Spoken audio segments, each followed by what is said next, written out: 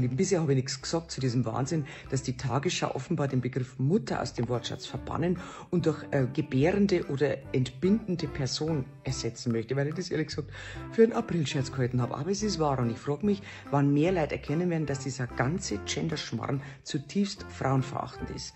Ich bin ja keine Mutter, ich bin ja auch keine Frau, darf man auch schon nicht mehr sagen. Was bin ich dann? Eine genderfluktuative Person mit unbenutzter Gebärvorrichtung. Ja, und es wird ja nicht aufhören.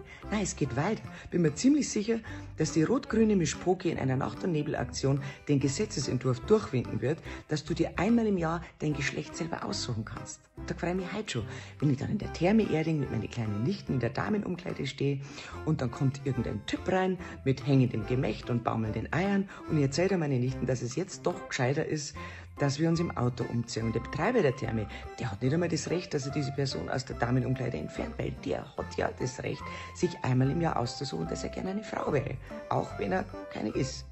Und ja, dann sage ich, bitte lasst euch nicht alles gefallen.